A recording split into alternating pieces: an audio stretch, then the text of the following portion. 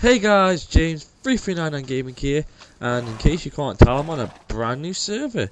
Now this is the public server for the fans because a couple of you guys been messaging me in private chat being like, Yo James, where your server at? So I went out and got a server for you guys. The only bad thing is it's got new stuff and it's also got no map, so yeah. I'll be on the server for a while, but I do have work tonight, so I'll be off, go to work, come back, maybe help. then I've got college tomorrow, so then after college I'll be on the server, maybe build a spawn. But um, basically, guys, the server needs staff. If you join, I'll, I guess I'll give you some staff ranks or something like that.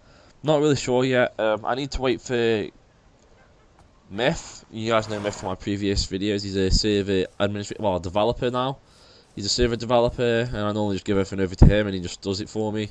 So I'll wait for him to come online before I actually give ranks out. But if you want to help me build spawn, that's fine. Um, Zep will be down in the description. There's also going to be a GoFundMe page for the server, for in case I can't afford to put the server up. I can afford it for a couple of weeks or so. More than that, I can't really afford that much.